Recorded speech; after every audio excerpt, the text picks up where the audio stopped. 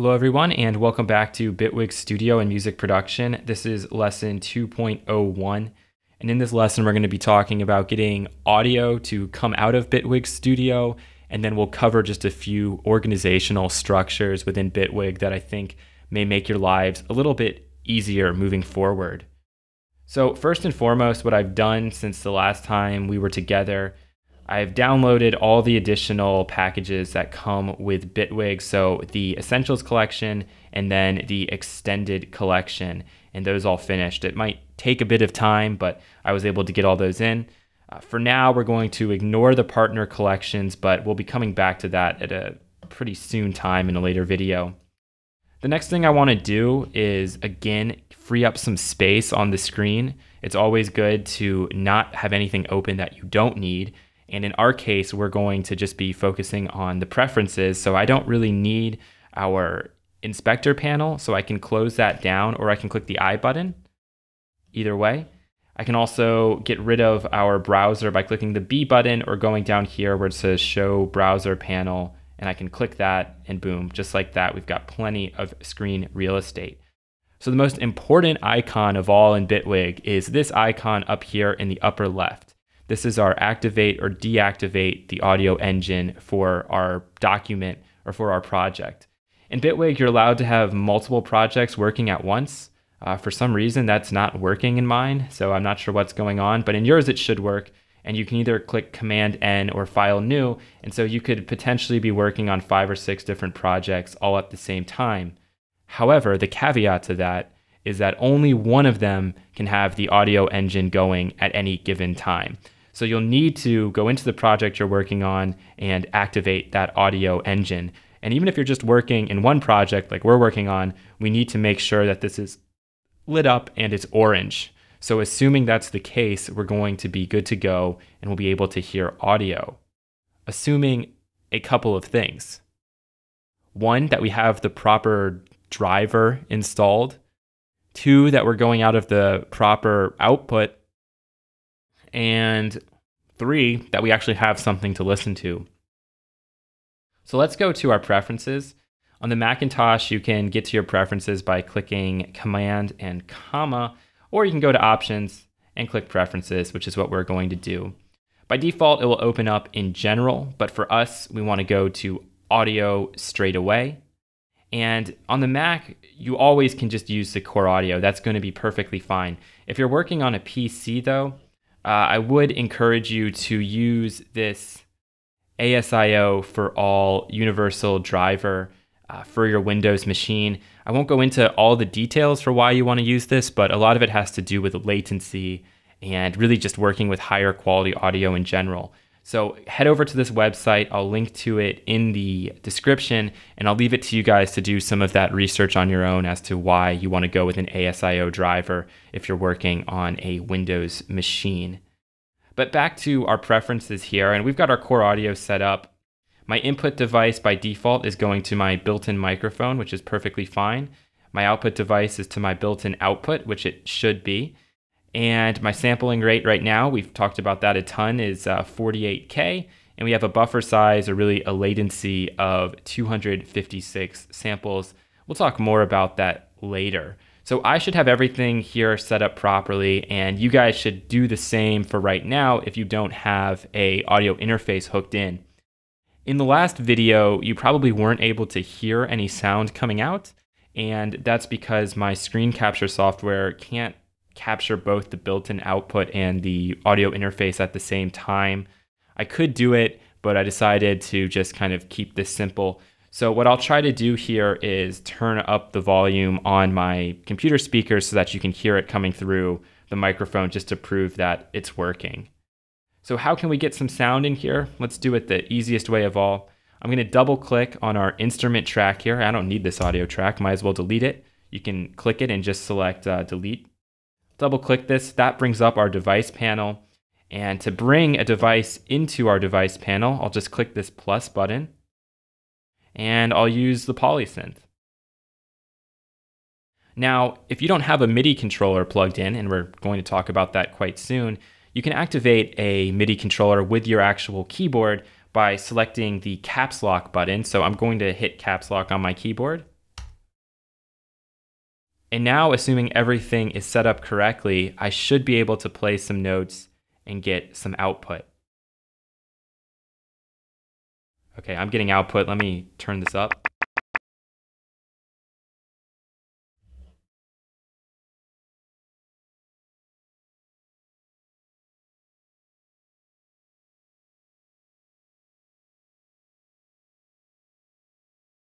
Now, if for any reason my audio engine is deactivated, and hopefully you could hear those notes being played, I'll just I'll clip it just for the sake of it. Let's get it. Let's get it going. So if our audio engine is deactivated and I'm hitting my notes, absolutely nothing is happening right now. Turn the audio engine back on. We're good to go. And similarly, all the devices are going to be equipped with this same kind of on off button, uh, which I'll just call the device on off button. If I turn this off and I hit notes, we're not going to hear anything, but we're still going to see the MIDI information coming in. If I turn off the entire audio engine, we're not going to even see that we're having MIDI information come in. But I turn that back on, we get the MIDI information, I hit on my synthesizer, and we get some sounds coming out. So that's just making sure that you've got everything routed up perfectly. In the next video, we're going to talk about um, audio interfaces that are separate from your computer. But for now, to make sure you have everything working, those are the things you need to focus on. The next thing I wanted to show you are just a few organizational things and, and tips for working in Bitwig. The first one is if you go to the help and you select this commander here, which I think is also uh, shift enter, or it's like control enter or something. I don't know what that one thing means. But I can select this and open it up. I need to learn my key commands, obviously. And um, you can see all of your key commands inside of Bitwig that are working. So this is a very helpful tool if you need to understand and want to learn the key commands, which I, of course, encourage you guys to do. So this is going to be uh, very, very helpful. And you can even search for what you're looking for in here um, to see. All right, and then to close it down, you're just going to click the close button here. Or actually, I'm sorry, you just have to click outside of the area. Uh, there's a search option in there. And so if I was looking for something like, I don't know, device, toggle the device panel here, you can see just by searching in DEV, it's going to bring this up and it's going to tell me that I can click the D button. Now, when I click outside this range, I can click D and it's going to open and close that just like that. The other thing that with Bitwig is very helpful is their user guide. Uh, the user guide isn't necessarily a manual. It was written by Dave Linenberg, and he's done a lot with like Max for Live, and so he's a very well-known guy in the audio production, musical creation type stuff. And he's done a very good job with this user guide. I actually timed how long it took me to go through the whole thing, which included me jumping into the program. Uh, granted, I have some idea of what I'm doing, but um, I also am a slow reader, and it only took me four hours, three hours and 55 minutes to be a little closer to go through the entire thing. Now, there is a couple frustrating things. One is that we only have access to the user guide from within the program from the help setting. So I can open it up here, but I can't really access it anywhere else for right now. We could do a couple of things from our preview, we could file and we could save it and we could move it around. But let's dig a little deeper and let's actually find where this is nestled inside of our program. And the reason I want to do this is because sometimes it's helpful to have your user guide just out on the desktop or at another place on your computer so you don't have to have Bitwig open to actually get to it. The other thing is if you have something like a Kindle or you have a um, you have another sort of e-reader application, you'll be able to um, very quickly put it onto that without having to try to go through a bunch of steps to figure out where it's located. So if we go to Bitwig Studio here, I can right click this and I'm going to click Show Package Contents. Be very careful not to mess around too deep in this because you're going to get in trouble if you do that. And so I can go in here now and I can look at the actual contents. And one thing you're going to notice right away that's very strange is that there is a folder for VAMP plugins. And we talked about VAMP plugins in an earlier video when we were talking about the Sonic Visualiser. And to me, this is a very good sign that we're going to get a lot more visual tools with Bitwig in future releases because they obviously have built into the architecture to allow for the Vamp plugins. I'm too scared to drop a Vamp plugin into the folder. Uh, I think it might completely destroy the application, but it is there. Uh, don't don't do it if you're nervous at all. I'm I'm nervous, so I'm not going to do it. But if I go to my resources here, uh, I can find my user guide under documentation. And then here it is, the first thing up here, Bitwig Studio User Guide English. And now I have the ability to obviously copy it and to paste it out to my desktop. It leaves it in the documentation area so I can still open it up when I'm inside of Bitwig, but at the same time, I can have access to it here, which is super helpful. You don't need to read the user guide to understand this program, and really, we're going to be covering things more in depth. But if you're moving ahead and moving faster than I'm going, obviously having the user guide might be handy once in a while. It's not going to go into detail on things like synthesis or useful applications to some of their effects, but it is going to talk about how things work inside of Bitwig. So I would recommend taking a look at it if you have the time and if you're interested. The other thing I wanted to show you is with the browser and just how helpful this can be to us and with what we want to do. So let's start with adding a music location. What I've done is I've created a folder on my desktop called Bitwig. And for all of our tutorials and all the work that we're doing together, I'm going to be storing everything inside that folder. But what I can do then is inside of Bitwig kind of route a lot of the panels up here to allow me to access any files within that folder. So we'll start with music locations. Right now I don't have any samples because we're not working with those yet. And I can go into my desktop, go to Bitwig, and I have a folder called full tracks. Right now I just have one track in there that we're gonna use pretty soon. I can click open. It's going to index that below. In this case, it went so fast because there's only one track that didn't take any time. And now if I browse over to our music tab inside the browser, we're gonna see that folder and that folder was called full tracks. And now if I click it, here's the track inside here. So absolutely perfect, easy. If you're a DJ, you could have a set somewhere and you could link to that set. And then right there, you could have all of your tracks to basically queue up and work with inside of Bitwig. Uh, very brilliant, smart, smart, just great way of doing it. The other thing is with plugins, and I find this to be brilliant. So let me show you guys what I've done here. Inside of my Bitwig folder, I've made a folder called Essential Plugins. And within my essential plugins, I'm going to be adding more and more of these folders for things that we're going to be using and working on together. For a while, we don't really need that much. Uh, you'll see inside my visual, I have the span and the smexoscope. Of course, if you've watched my earlier videos, the smexoscope isn't working. I don't know why, but I hope at a future update they fix that. Uh, that's the one thing I might actually email them about and see if they can get that working.